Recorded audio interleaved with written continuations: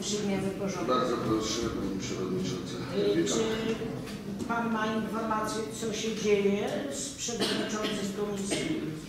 Bo jesteśmy winni przynajmniej jakiegoś komunikatu, a nie czekania Eee, pół Niestety takiej informacji nie mam. Informuję Panią Radną, że nie jest Pan Przewodniczący pod moją kuratelą ani opieką, więc eee, trudno mi jest eee, wypowiedzieć się w tym względzie. Eee, Jest w drodze, więc eee, jak Pani Przewodnicząca, jak Przewodniczący dojedzie, będzie miała możliwość bezpośrednie zapytania Pana Przewodniczącego. Nie widzę e, wniosków do porządku obrad, zatem będziemy realizować zgodnie z zapro- zaproponowaną treścią zaproszeniu. Pierwszy punkt przyjęcie harmonogramu prac Komisji nad projektem budżetu miasta Lublin na 2023 rok. Otrzymaliście Państwo harmonogram. Mam go odczytać, czy nie, nie ma? Nie ma potrzeby. Nie ma potrzeby, także to Ja mam pytanie. bardzo proszę. Ja chciałam zapytać, y, czy z góry przewidziano, że my dzisiaj y, przepracujemy na tym posiedzeniu zarówno dochody, jak wydatki. Y, W tym wydatki majątkowe, gdzie wiele pytań jest i nie tylko. Y, Natomiast, bo z tego co widzę, z tego harmonogramu, w czwartek już jest posiedzenie komisji y, tylko na zasadzie zaopiniowania wniosków. Y, Więc chciałabym ewentualnie zapytać, czy i składam wniosek, czy my dzisiaj planujemy posiedzenie do określonego czasu, bo nigdy jeszcze w historii, a zawsze bywa w Komisji Budżetowej, w ciągu jednego posiedzenia nie przeanalizowaliśmy najważniejszą uchwałę w roku, która, którą jest budżet e, w ciągu jednego posiedzenia. I dlatego też moje pytanie jest, czy nie ewentualnie nie przewidujemy drugiego terminu posiedzenia Komisji Budżetowej. Y, Po odpowiedzi y, i zapytaniu członków komisji, czy dzisiaj określamy czasowo to posiedzenie, co miało miejsce już nie jeden raz, do trzech godzin, czy zakładamy na przykład, czy y, w ogóle nie ma takiej propozycji, siedzimy do północy, na przykład. Dziękuję. Dziękuję bardzo. A zaznaczam, Ja że nie pamiętam- będę siedzieć na pewno bez granic do godziny późnej. Bo autobus ostatnio Jak pamiętam, bo również uczestniczę w posiedzeniach komisji mogę tylko potwierdzić, że nigdy się nie udało zrealizować, natomiast mamy e, posiedzenie jeszcze w dniu 22 e, we wtorek. A, Już mam podpowiedź uzupełniającą. Gdybyśmy dzisiaj nie zrealizowali proponowanego w harmo- harmonogramie porządku, wtedy będzie dodatkowe posiedzenie e, w dniu 22 we wtorek o godzinie 17, czyli w tym dniu, kiedy odbywają się posiedzenia innych komisji stałych e, Rady Miasta. Dobrze, rozumiem, że ta odpowiedź Panią Radną satysfakcjonuje. Ale ja jeszcze dla wyjaśnienia, e, ponieważ e, wszystkie komisje, w tym i budżetowa, bo każdy e, członek komisji ma prawo dyskutować nad wnioskami, również i swoimi, bo jest członkiem komisji, czy, czy nie przewidziano w ogóle posiedzenia we wtorek? W harmonogramie posiedzeń w ogóle wszystkich komisji?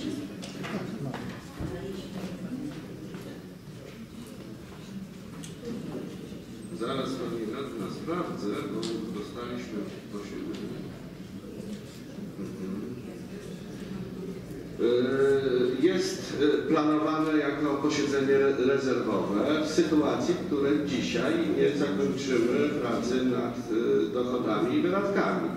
Jeżeli uda nam się dokończyć, e, no to nie będzie potrzeby spotkania się e, we wtorek i posiedzenie komisji zgodnie z harmonogramem odbędzie się wtedy 24 listopada czwartek, gdzie po 17, gdzie zaopiniujemy zgłoszone przez komisję stałe wnioski.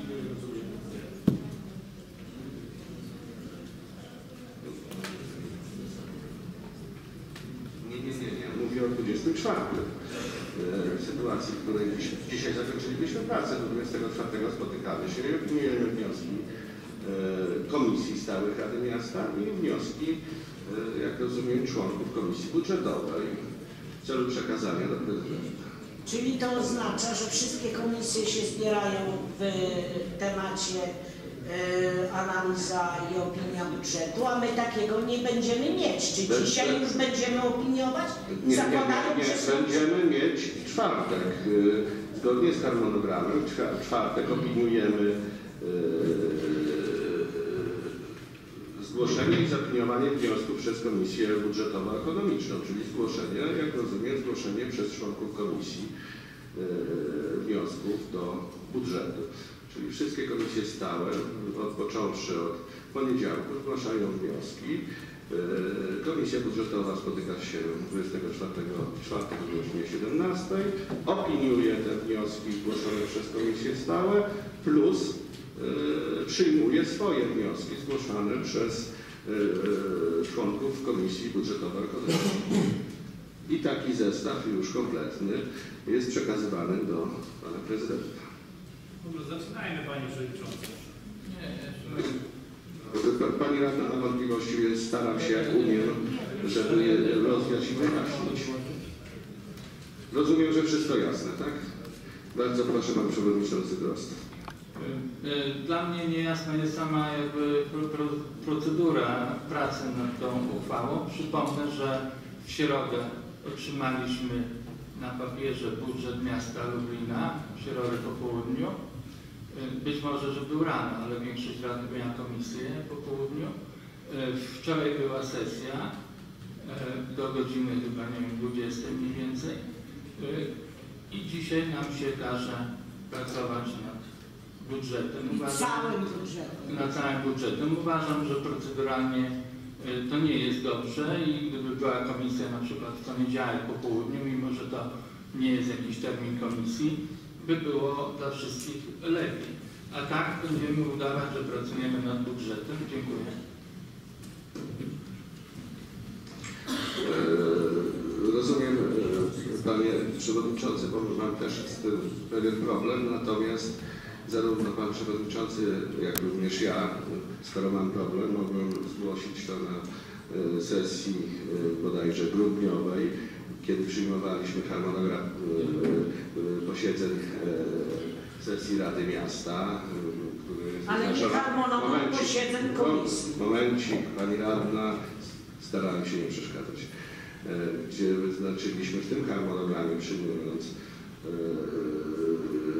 go do, do, do realizacji 15 grudnia sesję budżetową, a jak Państwo wiecie, e, harmonogram prac nad budżetem jest liczony od tyłu, od posiedzenia komisji, od e, od sesji e, zatwierdzającej budżet, więc żeby się zmienić w tym harmonogramie, biorąc pod uwagę termin posiedzenia Rady Miasta w celu uchwalenia budżetu, no to te terminy są niestety mm, tak ścieśnione, no bo e, zgodnie z ustawą pan prezydent ma do 15 listopada przekazać projekt budżetu, co też uczynił w terminie, E, a my mamy te dwa miesiące na uchwalenie budżetu, więc następnym razem sugeruję, gdybyście Państwo zgłosili to na przykład jako poprawkę, że sesja budżetowa jest 28 grudnia, no wtedy y, czas pracy nad budżetem również dla Komisji y, Budżetowo-Ekonomicznej będzie zdecydowanie dłuższy, jak również dla Komisji Stałych Rady Miasta. W tym momencie musimy, musimy realizować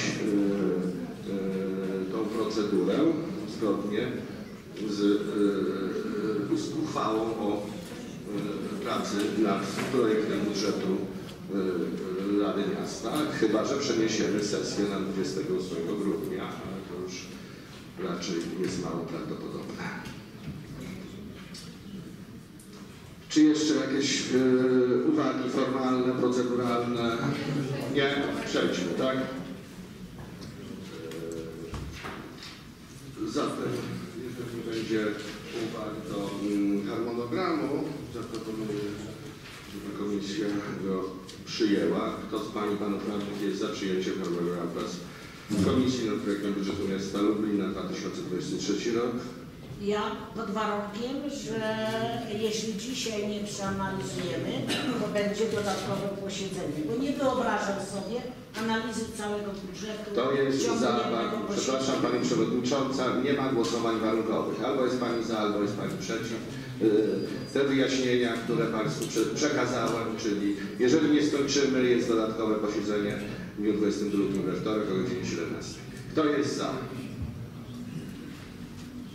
Dziękuję bardzo. Kto jest, kto jest przeciw? Kto się wstrzymał? Przeciw Pan był? Tak? W którym momencie ta ręka podniesiona? Przeciw, tak? Okej. Cztery za, jeden przeciw, zero wstrzymujących się. Komisja e, przyjęła harmonogram prac komisji nad projektem budżetu. Przechodzimy do punktu drugiego. Omówienie projektu budżetu miasta Lublin na 2023 rok w części dochody i wydatki. Nie wiem, która będzie sympatyczna, bardziej sympatyczna, ale zaczynamy od e, dochodów. Tradycyjnie e, będę czytał od strony piątej e, przekazanego Państwu dokumentu. Jesteśmy w dziale 010, e, rozdział 01099. Nie widzę zgłoszeń dział 600. Transport i łączność. Ro, rozdział. Jestem, panie przewodniczący, ja się zgłaszałem. Bardzo proszę. Jeżeli chodzi o transport i łączność, chciałbym dopytać dwie rzeczy. Pierwsza, e, wpływ ze sprzedaży biletów komunikacji zbiorowej. E, Przewidywane wykonanie w 2022 62 miliony, a my planujemy znowu na 80 milionów, jeżeli chodzi o 2023. To jest pierwsze pytanie. I drugie pytanie, wpływ z najmu i dzierżawy. Skąd e, wzrost o 13 milionów, jeżeli chodzi o dochód e, z najmu i dzierżawy, z 14 milionów 700 do 27 milionów. Bardzo proszę. Kto z Państwa dyrektorów? Nikt się nie zgłasza? Jest, jest, jest. A, bardzo proszę Panie Dyrektorze. Panie Przewodniczący, Wysoka Komisjo, e, jeżeli chodzi o e, planowany dochód, e, no to tutaj te prognozy na rok następny napawają, bym powiedział, lekkim optymizmem, a to mówię na podstawie chociażby dochodów z tego roku. Krótko mówiąc, sytuacja, jeżeli chodzi o korzystanie z transportu zbiorowego po tym okresie pandemicznym, e, naprawdę już jakby e, zbliża się do tak zwanej normy, czyli do 2000, sprzed 2019 e, roku i to pokazują chociażby wpływy tegoroczne. To znaczy do października, e, do października sumarycznie mamy na etapie za październik teraz mamy prawie 49 milionów i to są już zbliżone proporcje do roku 2019. Ym, Listopad ym, też, e, listopad, że tak powiem, też rokuje dobrze. W październiku mieliśmy w ogóle rekordowe, chyba od ponad 2,5 roku wykonanie wpływów za bilety prawie 6,5 miliona złotych. Krótko mówiąc, jakby to wszystkie prognozy zmierzają do dobrego kierunku i jakby na tej podstawie budowaliśmy tutaj dochód w przyszłym roku. Natomiast jeżeli chodzi o dochód z dzierżawy, to kwestia po prostu zakupów taboru. My zakupiliśmy 32 autobusy elektryczne. E, Krótko mówiąc, po prostu będą e, ten czynsz dzierżawny w związku z tym, że te ilości się zwiększają. Nasz operator wewnętrzny płaci nam e, ten czynsz dzierżawny i z tego tytułu wzrost tych dochodów. Dziękuję. Dziękuję bardzo Panu Dyrektorowi. W tym rozdziale nie widzę dalszych Ja proszę. Bardzo proszę Pani Przewodnicząca Jadwiga Mach. Y, Ja mam pytanie, y, dlaczego spadają y, przychody dotyczące dochody, bo nie przychody, tylko dochody dotyczące pozostałych dochodów. Jakie, jaki jest powód spadku tych dochodów? Natomiast pytanie również, panie dyrektorze, bo ja później uzasadnienia pamiętam, ja troszeczkę mam wątpliwości, czy wpływ, jaki jest zaplanowany na wysokości ponad 20% w porównaniu do tego roku będzie możliwy do zrealizowania. I czy dane, y, te, które Pan posiada, są y, jakby niejako przekonują Pana z analizy sprawozdania z tego pół roku, y, iż te przychody będą możliwe. I pytanie bardzo istotne, czy planując ten budżet również Pan planuje zmianę ceny biletów? Bo być może one będą konieczne. Dziękuję bardzo. Pan- Pani Radnej, bardzo proszę Panie Dyrektorze. Panie Przewodniczący, Wysoka Komisjo, e, tak jak, tak jak mówię, tutaj e, generalnie te statystyki jakby e, to jest główny powód symulacji budżetu, natomiast proszę zwrócić uwagę, że jakby też i na tą sytuację, też na, na, na sytuację, która się dzieje wokół, to znaczy e, mamy taką sytuację, że e,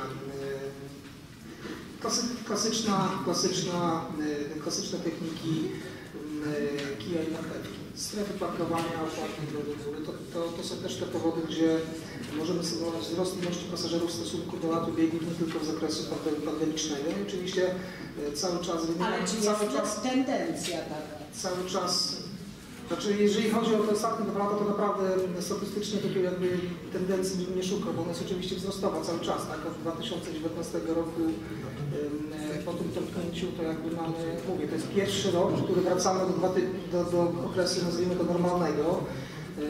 Jakby no, idziemy zgodnie z, jakby z naszą strategią, wymiana taboru, przystanki komunikacyjne, pętle, pętle, te zadania inwestycyjne też na, y, na przyszły rok, czyli podniesienie komfortu korzystania z komunikacji miejskiej. Em, Planowany do oddania w trakcie roku dworzec metropolitalny. My też będziemy układać nową siatkę połączeń. Jakby no to wszystko daje podstawę do tego, żeby taką symulację e, dochodów jakby prognozować. Bardzo proszę. jeszcze jedno pytanie. Ja jeszcze mam pytanie, jeśli chodzi o funkcjonowanie systemu rowerów miejskich.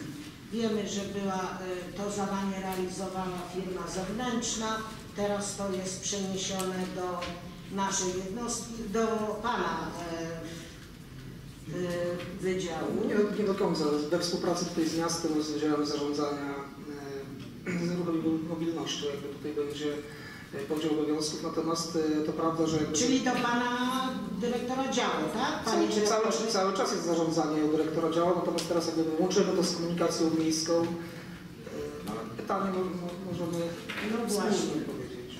Y, I teraz moje pytanie jest zasadnicze. Ja obserwuję te rowery, robię nawet zdjęcia, które pokazywałam panu dyrektorowi i muszę tu powiedzieć, y, no, chwaląc pana dyrektora, że pan dyrektor orientację ma, mówię o dyrektorze, mam panu dyrektorze, mm, nie chcę odmieniać, dyrektor Malec, bo mogę zrobić to źle.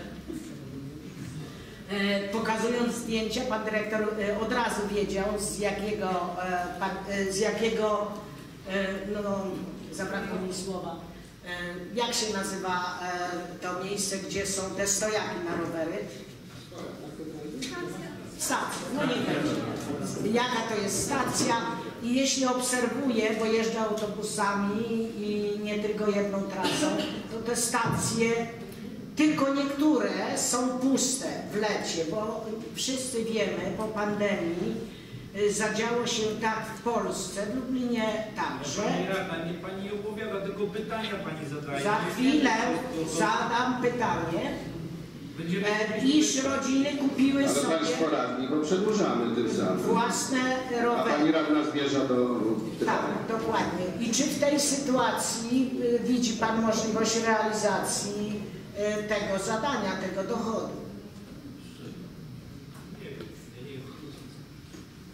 Rowery, Jeżeli, jeżeli chodzi o rowery, to e, główne założenie jest e, zarządzenia fix tego, żeby to robił podmiot wewnętrzny, bo oczywiście oprócz tego, że będzie zarządzania ruchem, to podmiotem wewnętrznym, to już chyba mogę powiedzieć, że myśmy przeprowadzi- przeprowadzili procedurę in-house'ową. Rekomendujemy tutaj prezydentowi podpisanie, postawienie kropki nad i, czyli zawarcie umowy in-house'owej z naszym podmiotem wewnętrznym, czyli z MPK Lublin, on będzie operatorem.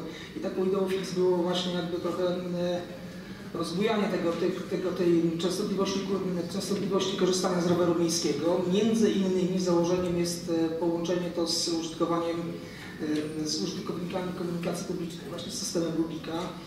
E, To znaczy będzie, za- zakładamy możliwość jakiegoś wykorzystania przez, przez e, komunika- przez użytkowników pasażerów komunikacji miejskiej tego roweru, to, to jakby jest pierwsze założenie, żeby jakby zwiększyć częstotliwość. E, Będzie również zaplanowane, e, zaplanowa, zaplanowane, czyli oprócz tego połączenia z komunikacją zbiorową będzie zaplanowany no coś na kształt takiego rebrandingu, odnowienia. To też był jeden z, to też był jeden z, z takich rzeczy, na które jakby użytkownicy roweru miejskiego się po tych paru latach no jakby to był Montana, tak, to jakość, jakość tego roweru. Także te dwie rzeczy zakładamy, że ten, i to są realne założenia, ym, że to po prostu ten, ten no, no, nowy, nowy rower miejski nabierze kolorytu i zaczną ludzie jakby z, w połączeniu z komunikacją zbiorową z niego korzystać. I tu jeszcze najważniejsza chyba informacja, no udało się jakby tutaj wypracować w drodze tego, tej procedury in-house'owej bardzo korzystne warunki z naszym operatorem wewnętrznym, to znaczy, em, to znaczy jakby my de facto płacimy, będziemy, że tak powiem, rozliczać się, nazwijmy to globalnie, na bardzo korzystnych warunkach, e, pewnie, pewnie blisko połowy taniej niż, niż to było do tej pory. Dziękuję. E, Dziękuję bardzo panu dyrektorowi. Jeszcze pewne chyba popełniłem. E, Witam przedstawicieli rad dzielnic, witam widzę pana Józefa Nowomiejskiego. Kto właśnie zobaczył, to również witam. E, I przechodzimy do e, rozdziału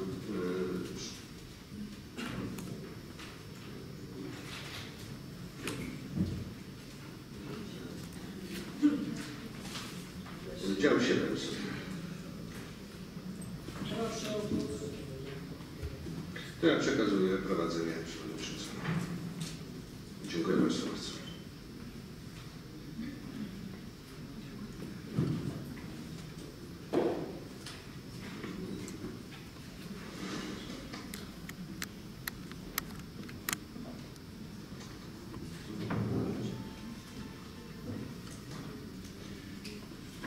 Pani Przewodnicząca, prosi o głos, tak? Tak, Proszę bardzo. Ja sobie chciałbym nastąpić Państwa przeprosić, nie dogadaliśmy się, bo że Pan Przewodniczący zaczął wcześniej, wnioski służbowe mnie zatrzymały. E, Pani Przewodnicząca, proszę bardzo. Jesteśmy przy dziale 700. Ja mam pytanie. Y, Ogromny wzrost, jeśli chodzi o ten dział, jest y, dochodów, które wynikają ze sprzedaży nieruchomości, a szczególnie sprzedaży działek. Panie dyrektorze, gdzieś dyrektor na? Nie ma pana dyrektora też. Y, Proszę Państwa, ja pamiętam, gdzie rok temu wskazywano nam rejony miasta, gdzie- tych działek mamy bardzo dużo.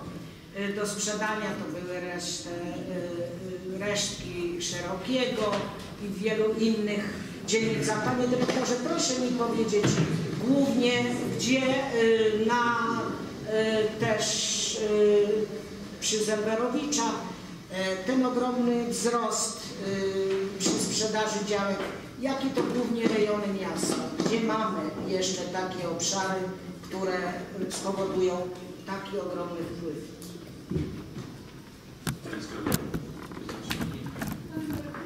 A Pan proszę. Pani radna, bo mamy z tego co ja wiem plan dochodów na 2023 rok w zakresie sprzedaży działek to jest 31 milionów i to nie widzę, żeby to był aż tak duży wzrost. Składników majątkowych mamy na 12 milionów. Ja mogę przeczytać Państwu, co żeśmy przedstawili dla Wydziału Budżetu. To są innymi działki przy ulicy Leszka Ziemowita, Parczewskiej, Związkowa, Skalskiego, Filaretów, Morelowa, Roweckiego, Spółdzielczości Pracy, Rzeszowska, y, działki przy Powstańców Śląskich w tym roku. No żeśmy- takie większe, panie dyrektorze, bo to ale ja, ja czytam, wie Pan, przy samych y, powstańców śląskich to jest 200 tysięcy. Większe to, Szanowni Państwo Radni, nie wyrażacie mi zgody. To co ja będę większe Ale sprzedawał? pan Ja- planuje 31 milionów. Tak jest i na te 31 milionów Pani Radna mam tutaj listę i czytam ją. Dalej Wiązowa Leszczynowa, e, Budowlana, Gospodarcza, Szarotkowa, e, Franczaka Lalka, e, Przybocznicy, Inżynierska, Krasińskiego, Kalinowszczyzna, Cmentarna, Witosa i Królowej Jadwigi tutaj Czyli na ta cmentarna będzie ten przy- przylegający do męczenników. Tak, Pani Radna, bo to są uchwały, które były podejmowane w trzecim, w czwartym kwartale, a sama procedura wyceny, wykazu, ogłoszenia to jest około 3-4 miesięcy, więc ja w tym roku się z tym nie wyrobię, to będzie pierwszy kwartał następnego roku. Y, Dalej Hessa, y, Dolna Panny Maryi Grygowej wspólnie. I to daje kwotę y, szacowaną, do niektórych już mamy wyceny, więc mm, to jest szacowane na 31 milionów. Natomiast tak jak zwykle, proszę Państwa, y, nie zawsze w pierwszym przetargu to się udaje, nie zawsze uda nam się zam, zamknąć sprzedaże w roku budżetowym. Natomiast plan jest pewnym, pewnego rodzaju y, szacowaniem tego, co chcemy pójść z pierwszym przetargiem i y, 31 milionów uważam jest realny do realizacji. Dziękuję. Bardzo. Jeśli nie ma pytań, Są Pani Przewodnicząca. Proszę proszę bardzo. bardzo. Proszę bardzo. Ja chciałem zapytać Pana Dyrektora, bo Pan miał takie słowo, że nie wyrażamy zgody na sprzedaż działek. To ja mam pytanie, ile uchwał w tym roku zostało odrzuconych, jeżeli chodzi o sprzedaż działek? Niech Pan powie w takim razie. Proszę pytać. Panie radny, nie pamiętam, ale dyskusje są y, dosyć duże. Y, Ja nie chcę tutaj mówić y, o szczegółach, natomiast zdarza się, że no, są dosyć duże dyskusje w zakresie sprzedaży działek czy zamiany. To jest różnica. Dyskusja, a nie wyrażanie zgody na sprzedaż. Dobrze, panie radny, nie wyraziłem, nie wyraziłem się precyzyjnie. Rozumiem, dziękuję. Uderz w stół, a nożyce się odezwą. Dyrektorze nie komentować. Dobrze. Myślę, że zdarzały się projekty, które po komisjach zostały wycofywane Bo i w ten sposób e, Ale to nie znaczy, że nie dawali zgody. To, że wycofane przez prezydenta, to nie my wy- wyrażaliśmy lub nie, więc dobrze było, Bo, żeby... bo, to, bo to mniej więcej z, taką, z takim przesłaniem, że skoro nie ma zgody na komisjach, to prezydent wycofywał taki projekt. E, Bo po co procedować projekt, który i tak nie uzyskał poparcia. E, Pani Przewodnicząca Mach, proszę bardzo. Ja jeszcze chciałam zapytać, y, jeśli chodzi o ten dział y, 700. Y, Panie dyrektorze, jeżeli chodzi o wpływy z najmu i dzierżawy oraz wcześniejsze pozycje, to Pani są... Proszę do mikrofonu. Oj, przepraszam. To może zacznę od tej pierwszej. Y, Opłaty za wieczyste użytkowanie. Y, Jak, jaki jest procent w tej chwili mieszkań, y, czyli lokali mieszkalnych, procentowo w przybliżeniu, które są jeszcze na zasadzie wieczystego użytkowania tych nie, nieruchomości? Natomiast jeżeli chodzi o przedsiębiorców, czyli zajmowane przez komercyjne firmy, bo jest zwiększenie tego wpływu. Czy to oznacza, że jakby jest, jest jakiś zastój? Bo wiem, że polityka jest taka po przyjęciu ustawy, y, by y, nabywać na własność, a nie tą formę, bo też jest to własność, tylko wieczyste użytkowanie. Szanowna Pani Radna, jeżeli chodzi o wieczyste użytkowanie terenów, które są przeznaczone na cele mieszkaniowe, opłaty są na dzień dzisiejszy zero. Dlatego, że z mocy prawa wszystkie grunty zostały przekształcone i one nie ma opłaty. Macie Państwo pozycję opłata z tytułu przekształcenia prawa użytkowania wieczystego nieruchomości zabudowanych na cele mieszkaniowe. Jest to odrębna pozycja. A same mieszkania. Natomiast y, no, jest zero opłaty. Nie ma, nie ma już na dzień dzisiejszy w przepisach prawnych od dwóch lat opłaty wieczystego użytkowania gruntów, y, na których jest zabudowa y, mieszkaniowa. Są w opłacie grunty, które, które są y, w trakcie budowy, które z mocy przepisów w momencie y, uzyskania prawa y, użytkowania automatycznie ulegają przekształceniu i takie decyzje wydajemy, więc nie ma opłaty z tytułu użytkowania za lokale y, mieszkalne, natomiast jest opłata, która się pojawiła w budżecie. Jest to opłata z tytułu przekształcenia prawa użytkowania wieczystego nieruchomości zabudowanych na cele mieszkaniowe w prawo własności i tutaj się znajdują y, te lokale mieszkalne, y, które kiedyś były na y, gruntach wieczystych użytkowa, wieczystego użytkowania. Natomiast jeżeli chodzi o wieczyste użytkowanie, w tej pozycji zostały same y, grunty komercyjne lub grunty, które nie zostały przekształcone, czyli były na odrębnych działkach na przykład y, garaże przynależne do wspólnot, one nie podlegały przekształceniu, jeżeli y, miały odrębną księgę wieczystą lub znajdowały się na odrębnych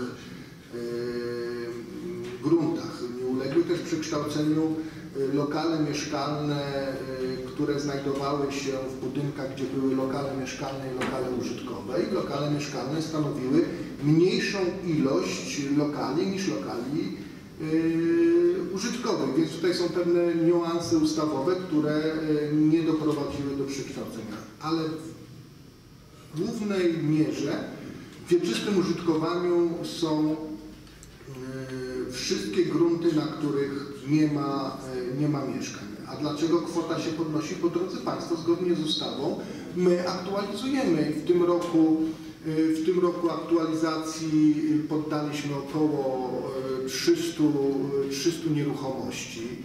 Y, I stąd ta kwota, mimo że wieczyste użytkowanie co do zasady maleje, tak, bo ten taki spadek, spadek był, no, Pani Radna, sama ustawa, y, która y, przekształciła z mocy przepisów y, mieszkaniówkę, to Ale ja mówię teraz o kilku, kil, komercyjnych. kilkadziesiąt. Komercyjnych nie maleje, dlatego że y, poprzez ustawy pomocy de minimis i mm, przepisy wynikające z podejścia Skarbu Państwa do interpretacji y, przekształcenia wieczystego prawa we własność, y, przekształcenie nieruchomości komercyjnych jest szczątkowe i y, następuje tylko na gminie. Tak jak Państwo widzicie, jeszcze 5-6 lat temu takich uchwał były y, o wyrażeniu zgody na gruntach gminnych były co najmniej jedna, dwie na każdej sesji. W tej chwili mamy jedną, dwie rocznie, dlatego że wielkość działek wielokrotności przekracza 200 tysięcy euro pomocy de minimis i nie można ich po prostu z mocy przepisów przekształcić.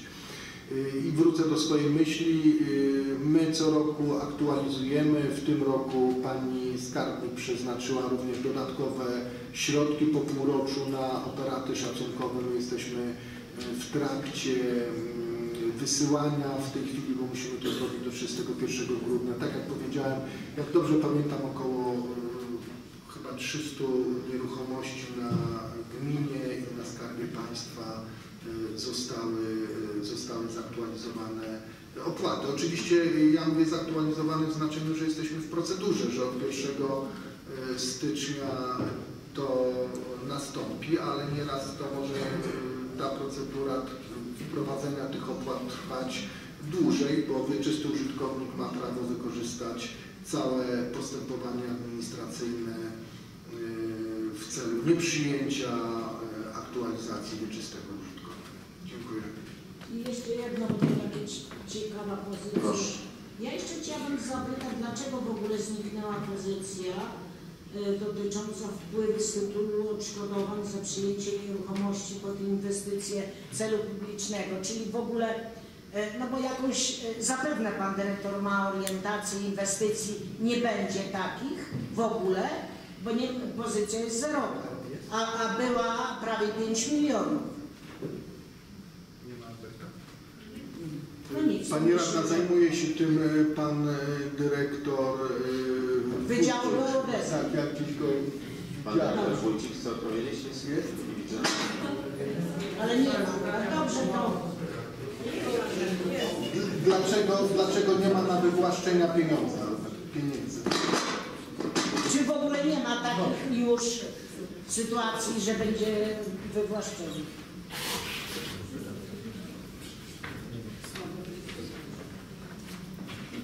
Znaczy w tej chwili nie planujemy żadnego wywłaszczenia, natomiast yy, możemy chyba przeznaczyć pieniądze na nabycia, jeśli mamy w, w innych pozycjach, więc yy, jakoś nie mogę sobie przypomnieć, żeby wcześniej tam było 5 milionów złotych. 4 bo my miliony 400. w tamtym roku Tak. Ciężko mi to skomentować tak z pamięci, ale to musiało być na nabycia, bo my w tamtym roku wywłaszczyliśmy chyba jedną działkę za Panie 300 tysięcy. dyrektorze, ja później panu pokażę. Tak.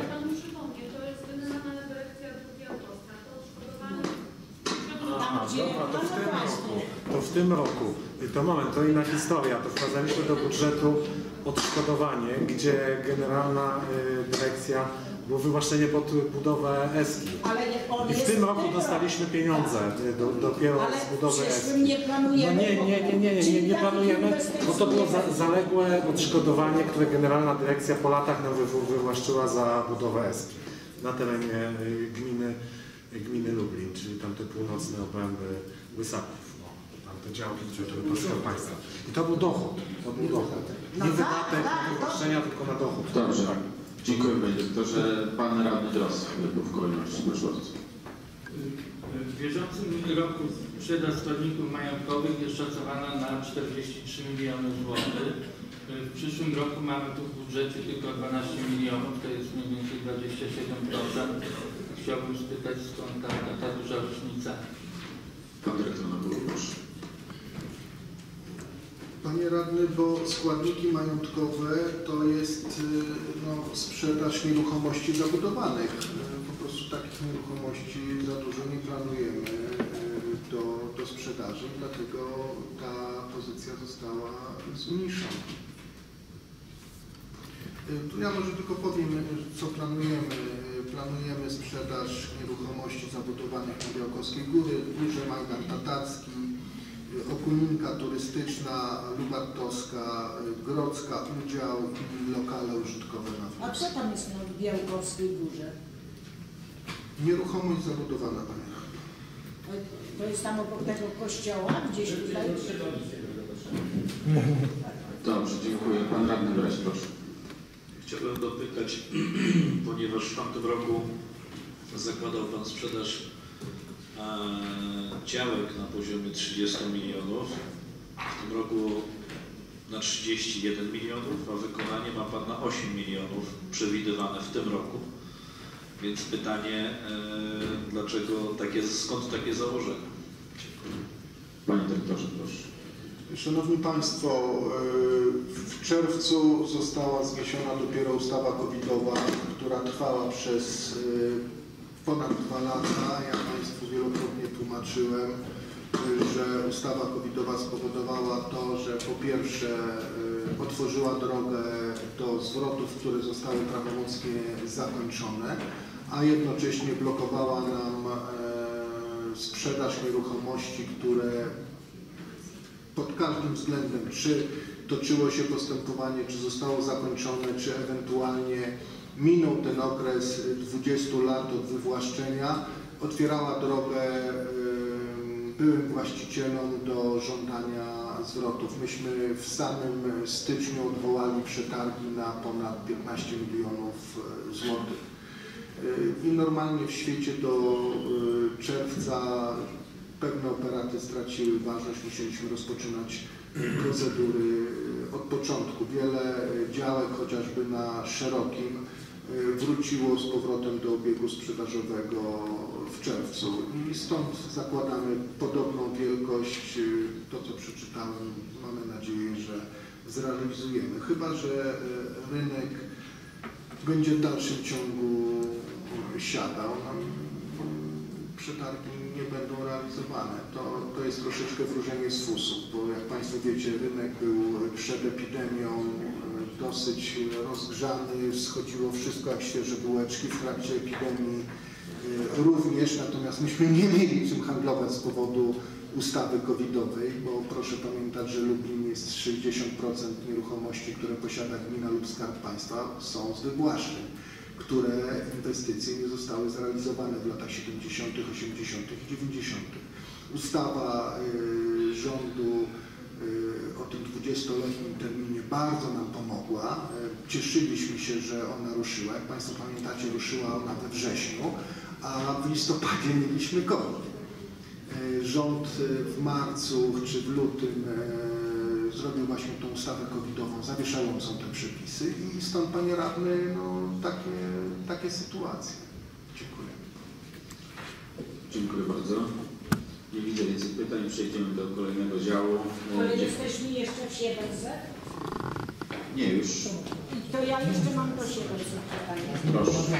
Ja chciałam tylko zapytać, e, tu są wpływy z najmu lokali mieszkalnych TBS, Nowy Dom. My mamy, e, jak się nie mylę, chyba 4 czy, czy 5 takich budynków na Czechowie, Feli e, i na Bronowicach chyba. E, Ile jest mieszkań w zasobach TBS-u e, i jaka jest w tej chwili stawka e, czynszu za jeden metr e, lokale mieszkalne, bo inna procedura jest przy lokalach użytkowych. I w tym również ile jest lokali użytkowych, bo są takie sytuacje, że jest połączenie e, lokali, obiektów tych nieruchomości. Ktoś z Państwa jest, będzie w stanie odpowiedzieć Pani Radnej? A, pan Dyrektor, proszę bardzo. Panie Przewodniczący, Szanowna Pani Radna. E, Jeżeli chodzi o spółkę TBS Nowy Dom, e, czynsz e, w spółce wynosi e, 10,40 zł za metr kwadratowy. E, Spółka posiada nieco ponad 1000 mieszkań e, w swoim zasobie. No, tak jak Pani powiedziała, są to przede wszystkim mieszkania w budynkach wielorodzinnych zlokalizowane na Felinie, ale również e, przy ulicy Lipińskiego na Czechowie oraz e, na Bronowicach, ulicy Bronowickiej i ostatnia inwestycja, dwa budynki mieszkalne przy ulicy Składowej po Czarnoczyńskiej.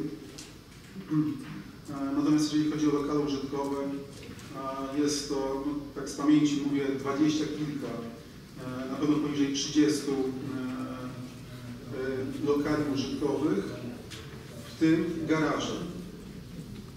Ponieważ do lokali użytkowych spółka kwalifikuje również e, garaże, e, które posiada w dwóch lokalizacjach. Ja tylko y, chciałabym prosić jeszcze, y, bo nie wiem jak garaże są traktowane jako każde miejsce postojowe, na pewno nie, bo byłoby to dużo, dużo, dużo więcej, więc ja chciałabym prosić y, o krótką informację mailową, ile jest tych lokali użytkowych poza y, wyłączeniem garażu, żeby, y, i, i w sumie jaka to jest y, powierzchnia zajmowana w stosunku do powierzchni lokali y, zamieszka, y, mieszkalnych. Ale to, to jutro, jutro nie, ponie, y, poniedziałek czy wtorek, żebym na wtorek nie. Nie, nie. Dobrze, dziękuję Panie Dyrektorze. Zapomniałam, że jutro sobota. Nie widzę więcej pytań w tym dziale. Ja, będę Państwa całymi działami pytać, e, znaczy by rozpoczynać i proszę od razu na wszystkie rozdziały patrzeć, e, tak żeby może to przyspieszy w jakiś sposób, e, bo mamy długa droga przed nami. E, 710 działalność usługowa. I proszę od razu na wszystkie trzy rozdziały patrzeć. Czy macie Państwo jakieś pytania? Działalność y, 7. Zadanie z zakresu geodezji, nazwy budowlanej i cmentarza. Ja odnośnie cmentarzy jedno zdanie Proszę.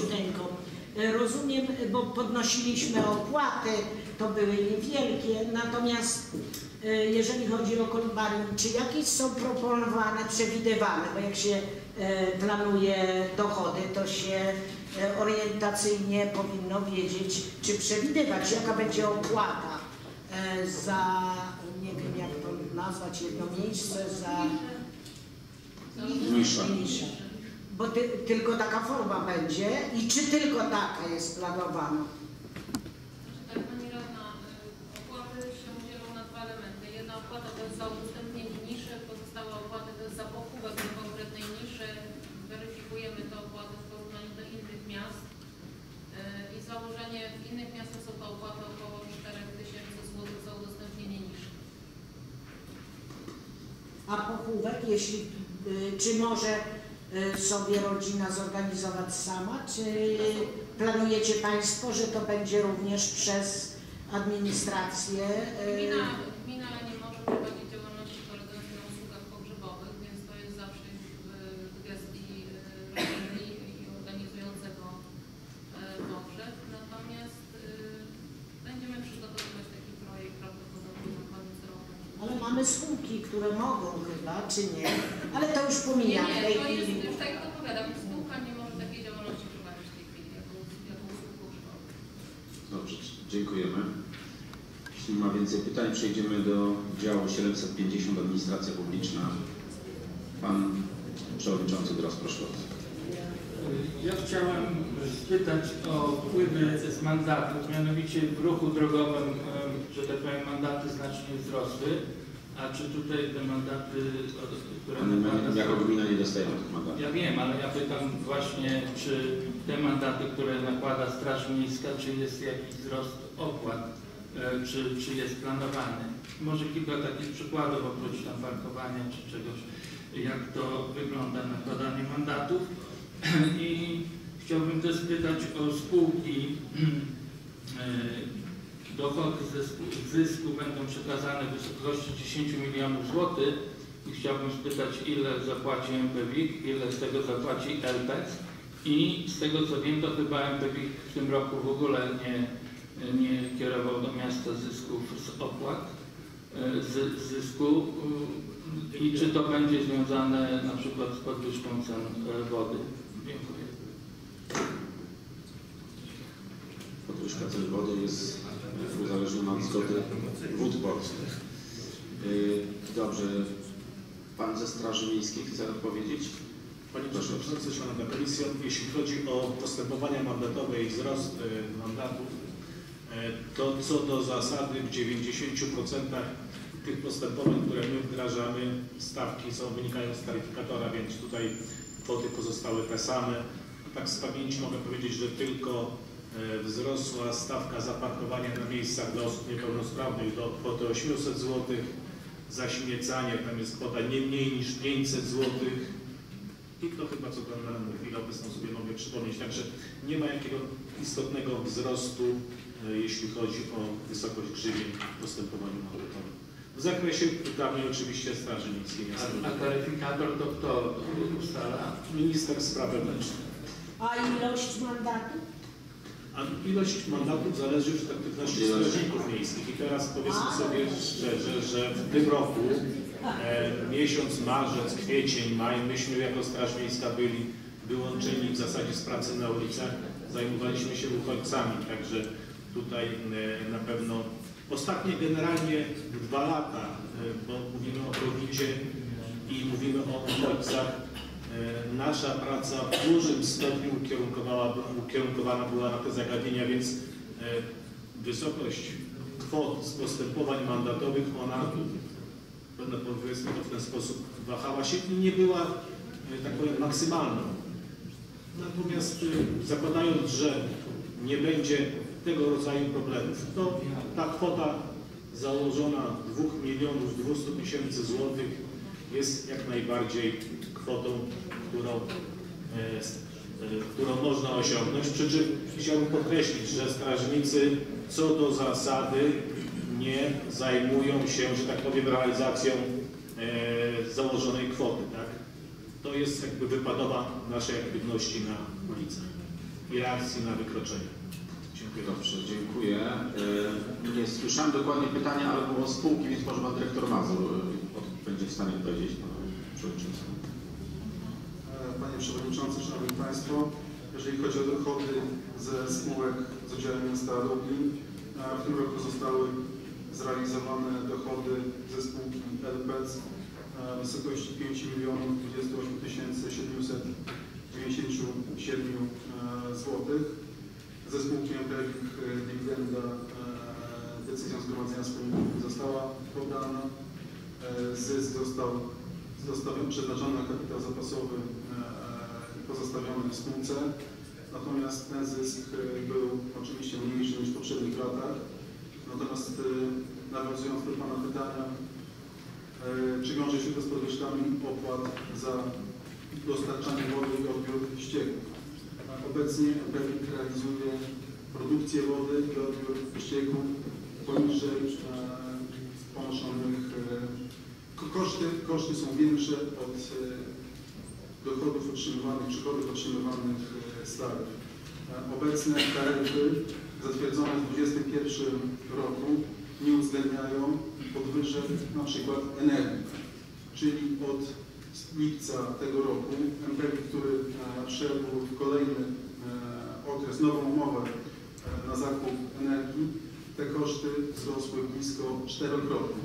Taryfa, która była przyjmowana rok temu, Wody Polskie nie zgodziły się, aby przyjąć e, między innymi wzrost, e, zakładany wzrost kosztów energii i e, dopiero za trzecim razem zatwierdziły, jak Państwo e, pamiętacie, za trzecim razem zatwierdziły e, taryfę Nie uwzględniając innymi wzrostu kosztów e, energii.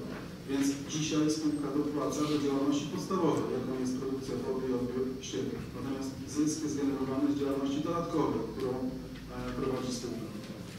E, Dlatego tak również było w poprzednich latach, że przede wszystkim większa część zysku była z działalności dodatkowej. Dzisiaj ten zysk jest za 2021 rok jest mniejszy wynika tylko z działalności dodatkowej. Natomiast jeżeli działalność podstawowa będzie dalej e, przynosiła straty jeszcze większe, to Wody Polskie nie zatwierdzą drugiego wniosku MPWiK-u, to należy liczyć się z tym, że MPWiK może przynieść e, straty w zależności od tego, jak, jak koszty będą w dalszym ciągu e, generowane. Spółka czeka na rozpatrzenie wniosku o podwyżki taryf. To równie dobrze może nastąpić w tym miesiącu, natomiast e, obecnie zależy to od e, Wód Polskich. Spółka wykonała e, oczekiwania e, wyrażone przez Wody Polskie, więc czekamy na, na rozpatrzenie. No. Dlatego- Przepraszam, przepraszam, przepraszam. To, że Pan Przewodniczący zadał pytanie, ja jednorazowo dopuściłem, żeby to w, nie w tym dziale było, ale nie, nie brnijmy w to, bo dojdziemy do tego działu. Jesteśmy w administracji publicznej, zostaniemy w administracji publicznej, bo się zrobi naprawdę totalny chaos. Czy do administracji publicznej Państwo macie? Pan Przewodniczący wreszcie tak? No jak już Pan Dyrektor odpowiada, Ale to będziemy w tym dziale. chciałbym dopytać. Poczekajmy do To tego później nie będziemy pytać po prostu. Dobrze, Pan Radny Bresz. Jakie to ma Dobrze, ale proszę się następnym razem trzymać działu. Jeżeli spółka wygenerowała zysk, który przeszedł na kapitał zapasowy, to chciałbym zapytać, jaki to jest kapitał, bo przypominam, że w tamtym roku również spółka e, nie wypłaciła dywidendy miastu. I chciałbym dopytać e, o ten zysk, dlatego że spółka z tytułu umowy spółki powinna tak naprawdę obsługiwać mieszkańców, a nie zarabiać na nich, podnosząc ceny wody.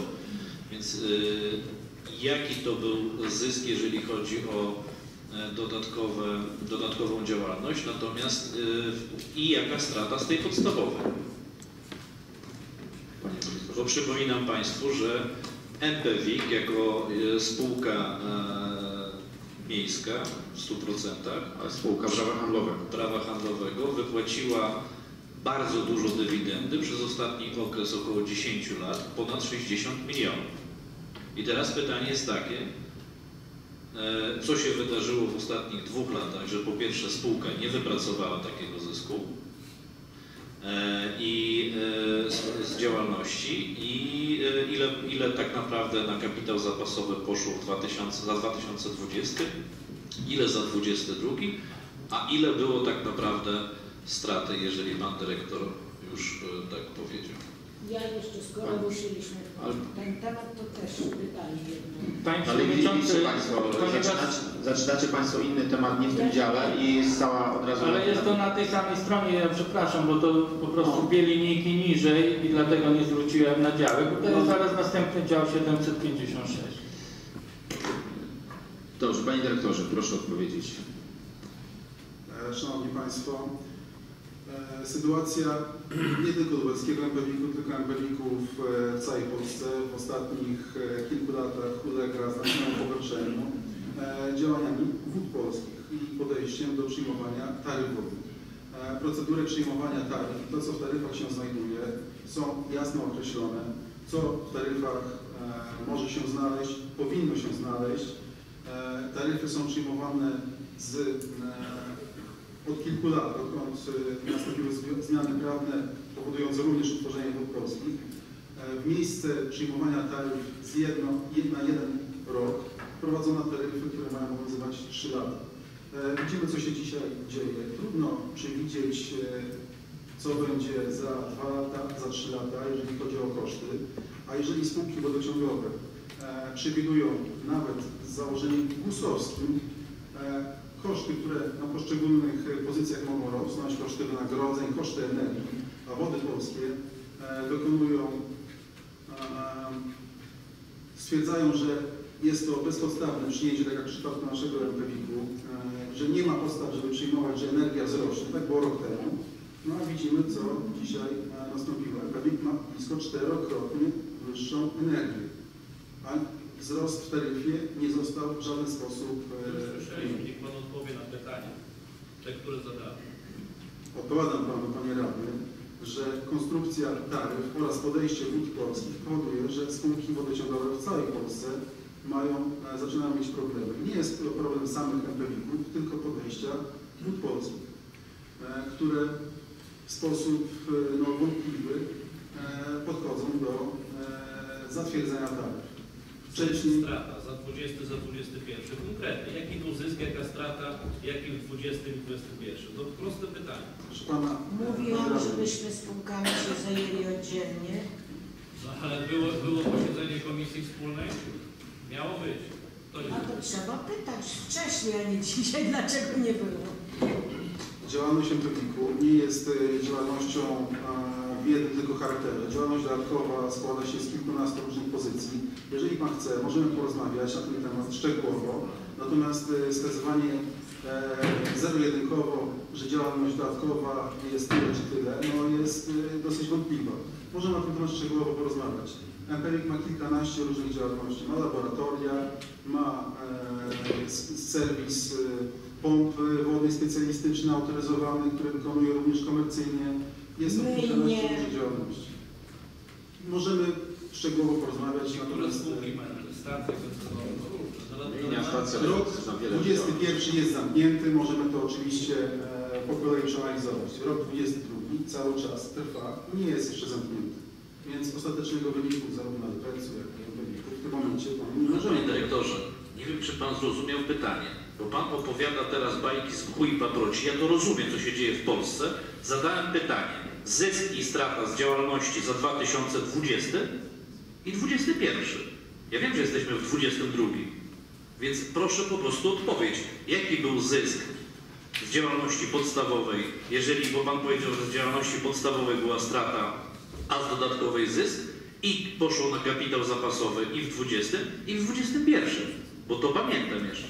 Tylko po prostu interesują mnie te dwie dane, znaczy cztery, za 20 i 21. Proszę Pana, e, to nie są bajki, tylko to są fakty. Natomiast jeżeli Pan chce konkretnie, no to oczywiście zysk MPWiK-u e, za 2021 to są 2 463 547 zł. Zysk, zysk za 22 rok to jest 5 469 530 Za jaki zł. okres? Za 20, za 20 rok. A to pan się, bo mówił pan 22, dlatego że... Za 20, to jeszcze raz. E, za 21 rok 2 463 547 zł. Zysk za 20 rok to jest 5 469 531 zł. Zysk za 2019 rok 4 350 415 zł. A zysk za 2018 rok 11 895 388 zł.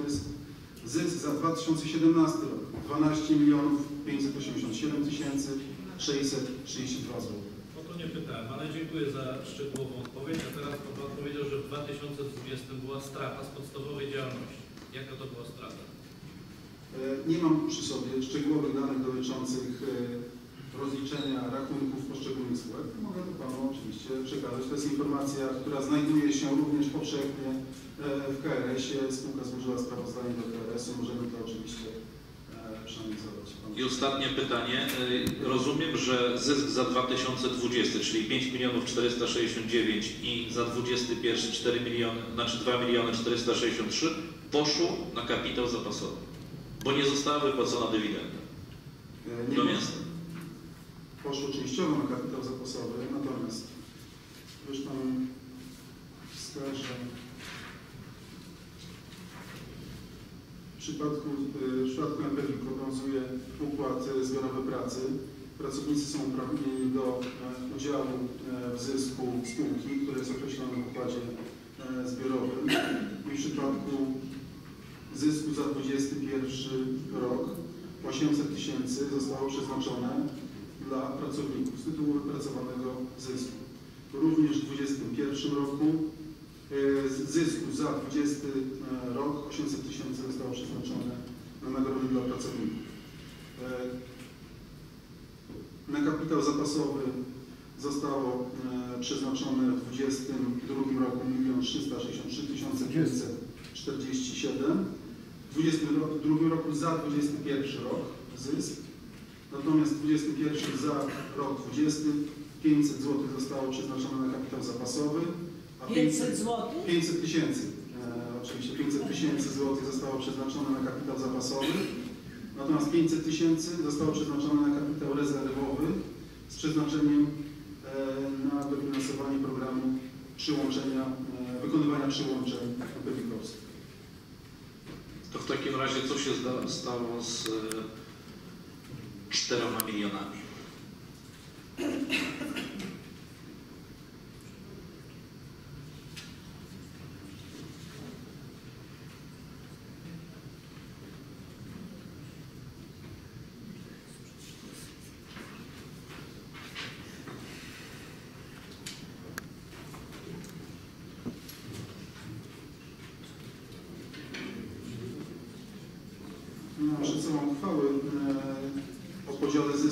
2020 rok. Mogę ją panu przesłać.